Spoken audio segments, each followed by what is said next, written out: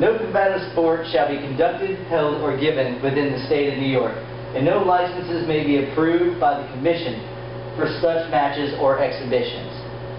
Mixed martial arts, also known as MMA, got its start back in 1993. It was supposed to be a one-off event just to see which form of martial arts was best. They brought in boxers, karate experts, jiu-jitsu experts, judo experts, just to see who would come out on top in the tournament. Now, back then there were only two rules, no biting and no eye gouging. So fights, as you can tell, got pretty violent.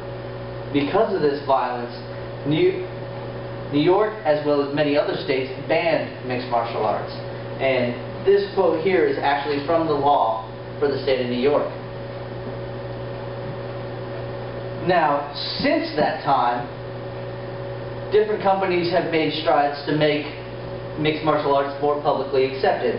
They've introduced rule changes. They've basically become more friendly to the states and athletic commissions. With these rules, as you can see, they brought in weight classes, they brought in time limits. There's, along with the original rules, they've added a whole slew of new rules just to make it more acceptable. There's no striking to the back of the head of an opponent. Different things that just bring safety into perspective. The list continues on and on over all the new rules. Now, if you want a full list of the rules, I recommend going to www.ufc.com forward slash about forward slash rules. You can read up on all the different rules that they institute in these in all of their events. With the new rules, as well as the old rules, since you have since mixed martial arts got started back in 1993, there have only been two deaths in a sanctioned event. Now, if we compare that to some of the other popular combat sports, such as boxing, in that same time frame, there have been 73 deaths. If mixed martial arts is as unsafe as, as the state of New York says it is, then how come they allow boxing? It the numbers just don't add up. But safety wouldn't be the only reason why New York should legalize MMA. There's definitely financial impacts. Now, the UFC hired a company called HR&A Advisors. They do financial impact reports for different events. Now, UFC hired them to do financial impact reports on the state of New York for the city of Buffalo and the city of New York City. Now, we're going to look at the city of Buffalo first.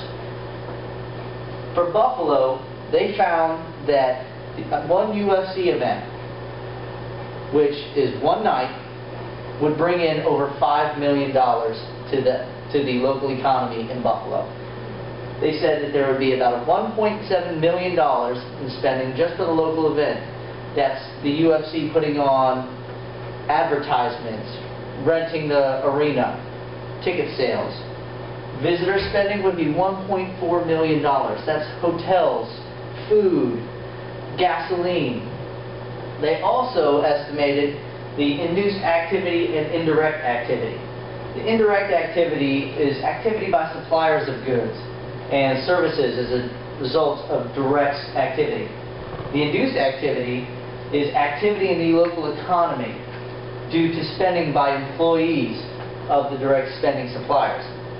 Now, $5.2 million in today's economy would be great.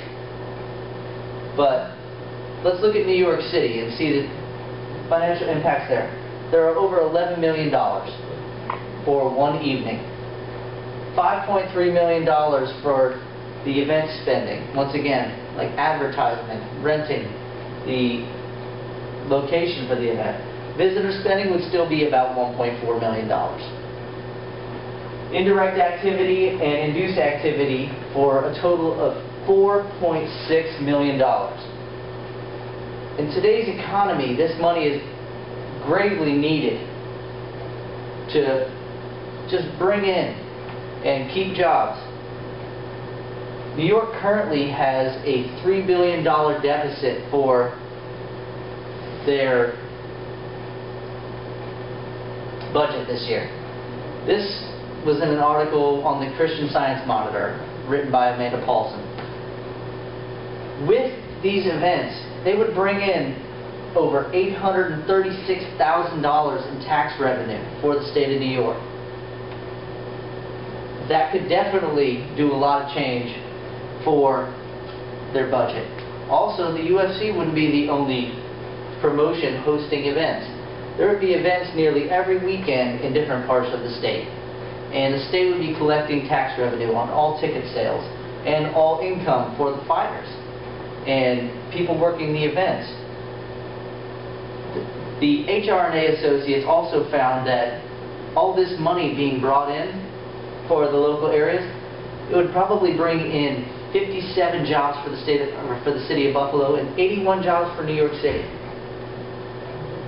Now let's go back and review all the things that I've covered so far. We've covered the, the rules. Obviously the sport is not the violent sport that it was that got it banned. It's, it's ridiculous that you can compare it to boxing or you can compare it to like a sport like boxing and say that boxing is safe and mixed martial arts is not, while boxing obviously has more deaths. The financial impact for the local areas is just astounding.